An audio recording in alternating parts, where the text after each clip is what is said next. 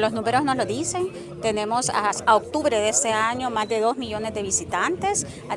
siendo uno de los países de Latinoamérica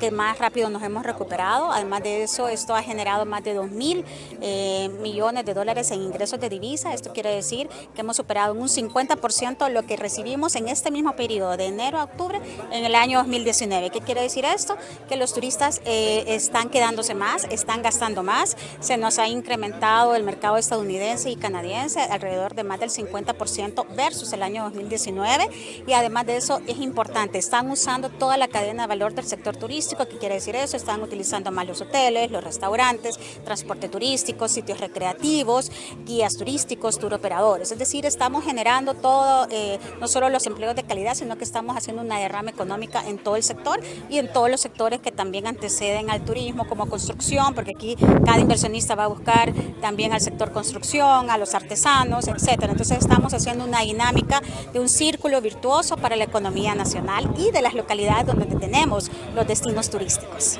Así es, aquí nosotros estamos trabajando no solo con el Ministerio de Agricultura, sino que específicamente con el Consejo Salvadoreño del Café, que está impulsando nuestro café de especialidad. Así que definitivamente el café está siendo también, eh, yo, le, le digo, es reconvertido también para este sector turístico y entonces estamos haciendo muchas rutas de café, no solo en esta zona occidental, sino que en el norte de Chalatenango y también estamos teniendo rutas de café en el oriente del país. Nosotros siempre decimos que los salvadoreños nos tenemos que creer que tenemos uno de los mejores cafés del mundo, así que enhorabuena por ese nuevo establecimiento que está precisamente aquí en el Cerro Verde, en el complejo de los volcanes y le invitamos a todos los salvadoreños y a nuestros turistas internacionales que vengan, que lo conozcan y que definitivamente puedan también recorrer los otros atractivos.